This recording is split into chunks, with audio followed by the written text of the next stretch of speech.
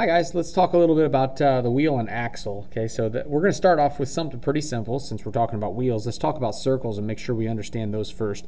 Uh, let's say that I have a circle here, and let's just say that we're given a radius for that circle. And I don't know what that radius is, but let's say, uh, let's make up a number here. 10 would be a great number, wouldn't it? Okay, so let's say that we have 10 um, inches for the radius of the circle. Remember that we have some formulas here. And for now, we have area formulas, circumference formulas, all kinds of stuff that you're going to be learning in your math class. For now, we're interested in probably circumference, okay? Because the big thing is, as I travel around the circle, we're interested in forces and distances when we're talking about our um, about our simple machine stuff. And so we want to know if I spin this circle, how far does it go around the circle? You know, if I made one rotation just like that, how far would that be? Okay? And so we have a cool little formula here that you haven't learned about in your math class. You probably should have. It's circumference of a circle. That's the distance around the circle, the arrow that I just drew, is equal to 2 pi times the radius of the circle. 2 pi times the radius of the circle, okay? Now, there is a, a, different way of calculating that, but before we go on to that second formula, let's just understand this. Oh, hold on, my lights just went off. If you notice the change in lighting, just a second. All right, there we go. All right, so the, uh, the formula here then tells us that if I want to find the circumference of the circle, that distance for one rotation, that would simply be 2 pi times, in this case, 10.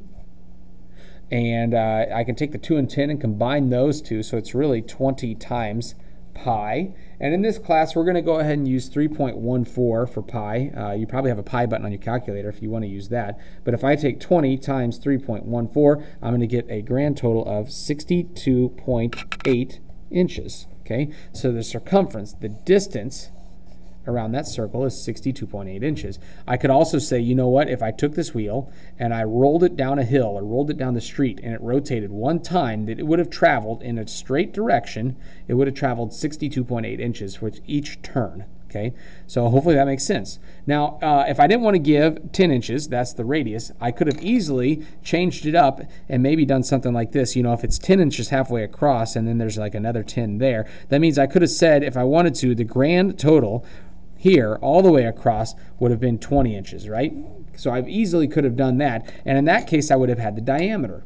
Okay, so if I'm working with the diameter, if it's all the way across, then my formula simply changes. Instead of 2 pi times the radius, it's pi times the diameter. Now, in that case, if I was given a diameter of 20, then notice that I would have circumference is pi times 20. Oh, look at that. 20 times pi, pi times 20, it's the same thing, right? So the circumference in this case would have been 62.8 inches also. Okay? Now, the reason the formulas are the same is because if you look at this, they both have a pi, right? This one has 2 times the radius. Well, if I double the radius, then that piece right there would turn into the diameter, right? So it's all really the same thing, okay? So with that being said, the only thing I really want to do then is what if we compare that to like say a smaller circle, right? What if it's 5 instead of 10, okay? So let's say here I have a radius of 5 inches. What is the circumference in this problem? Well, uh, that'd be pretty simple to figure out.